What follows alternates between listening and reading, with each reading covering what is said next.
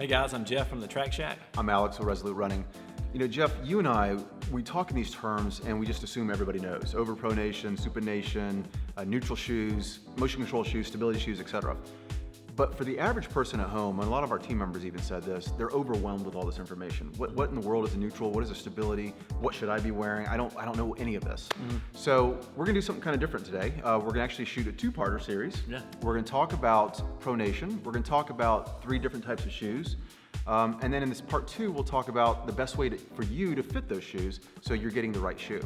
Uh, so let's start in the beginning. What is pronation? Why does everybody talk about it? Well, pronation is basically just your foot's motion from heel to toe. Okay. Uh, if you imagine somebody walking or running, uh, most everybody strikes, you know, heel to toe first. Sure.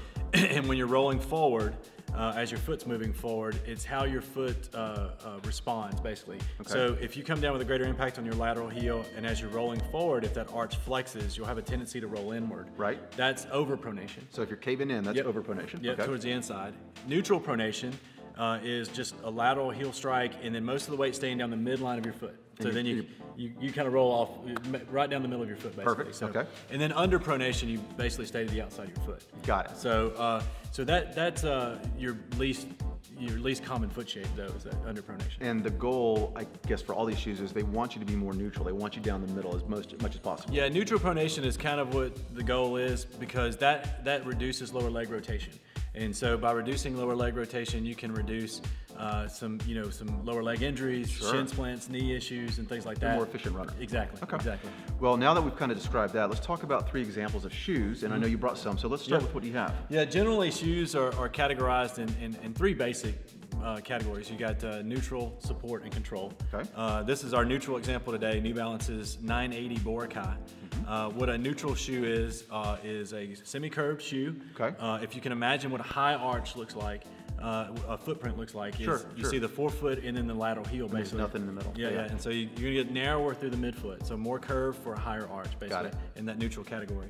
Uh, in the support category, you got our most popular seller, the Structure uh, from Nike. Uh, the difference here is, and you can see it from behind a little better, soft uh, on the lateral side, Right. uh, firmer on the medial side, so they color that so you can tell the difference. The blue is Ah. firmer. Uh, and so the idea here is that when that arch flexes and falls inward, you're going to engage this firmer material. And it's pushing you back it's up. going to help keep you neutral. So support that area on the medial side of the foot a little That makes better. sense. So, and then uh, lastly, the control category. Which is, that's a beast. Yeah, yeah, man, this is the beast. And so appropriately named, uh, control category is designed for flat feet. So if you can again imagine what a flat footprint looks like. so there's nothing the there, whole yeah. sole of the foot, yeah. So this is what's called a straight last, less curve here on the medial side of the shoe. Uh, very firm, very dense on the medial side to help control overpronation as well. But really on the fit side, you got that uh, that really wide base. Got it. So, Okay, so it keeps you in, in nice support all the way through. Exactly. Okay. So there's kind of an overview of the three shoes, what pronation is, and what we'd like to do in this next episode, and I hope you'll tune in next week, is let's talk about how we fit you. You've got this information. Now what do I do with it? How do I know what is the right shoe for me? So stay tuned. We'll talk about that next week, and unless you have anything else, I'm all good. all right, we'll see you then. Take care, guys.